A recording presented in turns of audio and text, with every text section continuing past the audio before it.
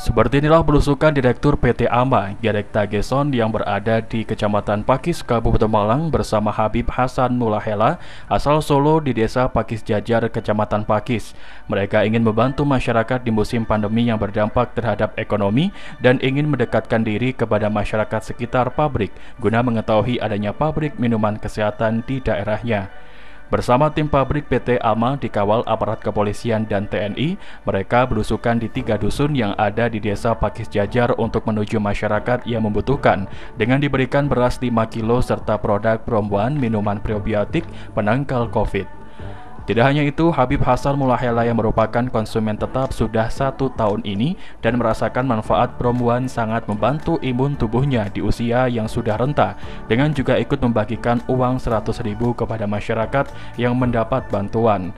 Menurut Habib Hasan Mulahela, konsumen tetap perempuan mengatakan jika dirinya yang lama tidak berkunjung merupakan konsumen sejak Maret 2020 setelah adanya COVID dan ingin ikut membagikan bantuan beras produk perempuan kepada masyarakat sekitar pabrik dan akan menambah memberikan uang 100 ribu seperti yang dilakukan juga di Solo.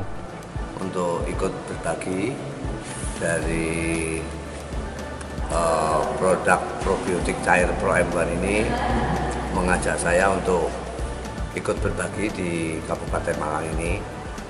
Beliau akan berbagi beras 5 kilo dan minuman probiotik ini.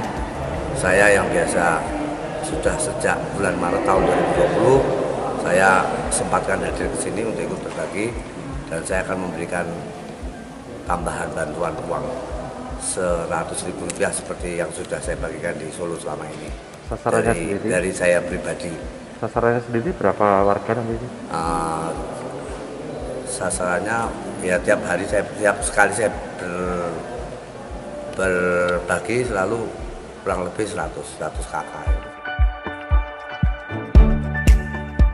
Seperti menurut Gerek Tageson, Direktur PT AMA menjelaskan, ingin berbagi dan mendekatkan diri kepada masyarakat sekitar pabrik untuk bisa merasakan manfaat perempuan di musim pandemi, yang juga dibagikan beras 5 kilo untuk meringankan masyarakat minum sekitar pabrik di musim pandemi yang terdampak pada ekonomi. Eh, dua kali kami mau berbagi, berbagi beras dengan uh, tentu uh, Pro M1 sendiri kepada masyarakat yang Eh, di kampung-kampung atau di dusun yang minus.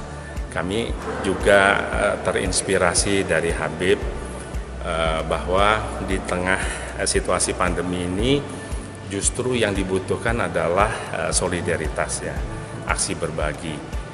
Ya mudah-mudahan Pak karena pandemi ini juga berakibat ke ekonomi aksi sosial seperti ini berbagi beras, berbagi obat-obatan atau produk kesehatan bisa menumbuhkan semangat ya karena masyarakat yang minus itu uh, mempunyai harapan karena di sekelilingnya ternyata ada yang peduli.